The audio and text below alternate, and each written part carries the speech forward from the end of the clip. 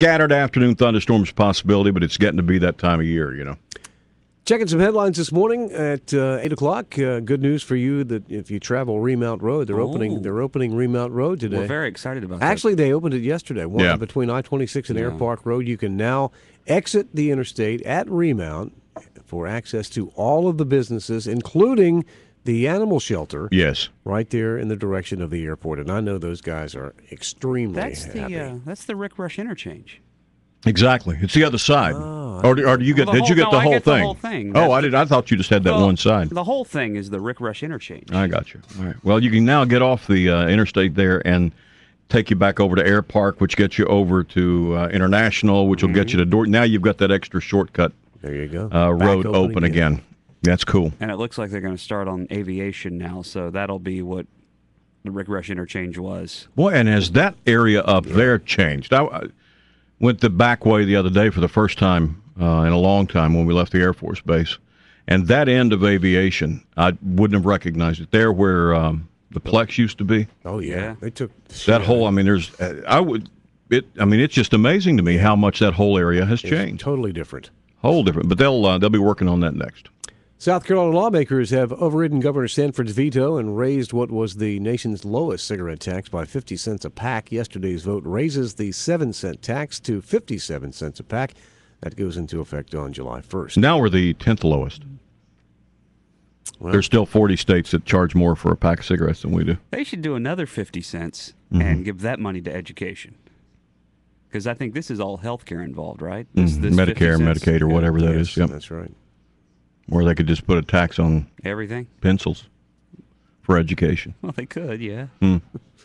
BP officials say they've decided to first try sucking oil away from the gushing Gulf well in the Gulf of Mexico. They're going to be using a tube that will be inserted into a jagged pipe leaking on the sea floor. Sounds like that procedure I had done over at St. Francis.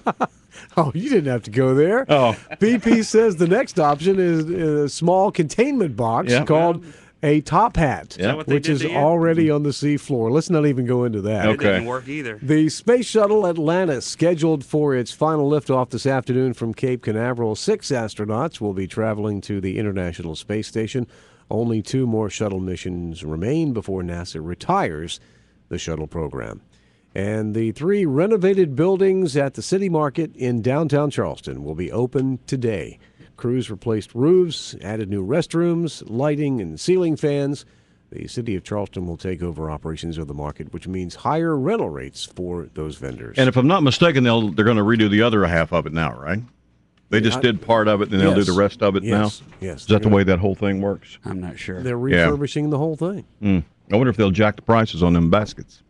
They can't. No, Well, no, I mean because they said that Lord. the, Well, they can, The but rental man. rates are going up. They're going to start charging these people more to have a booth down there because the city's taking it over. It's not going to be independently owned and operated anymore. It used to be if you were there for a long time, you're you know you paid less, and if you were on this spot in the building, you paid less, and you paid more if you were in that building, and and you sold this kind of stuff. Now they're going to everybody's rates. are going everybody's up. rates are going up. I'm cool with what those ladies can get for those baskets, but man, they had a they had like a coaster size basket down there. Honestly, like a coaster you'd sit a drink on was forty five dollars. Mm-hmm. If you want something you can put some fruit in, it's like three fifty.